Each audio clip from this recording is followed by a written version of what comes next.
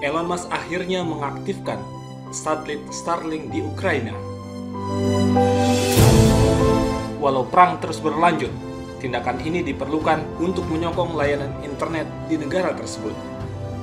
Jaringan internet di Ukraina telah terganggu akibat invasi Rusia.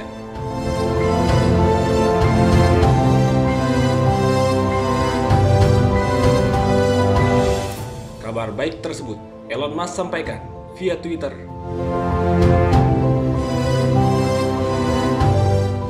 Saat menjawab ciutan Wakil PM dan Menteri Transformasi Digital Ukraina, Mikhailo Fedorov. Rusia mencoba menduduki Ukraina, sementara roket Anda berhasil mendarat di luar angkasa.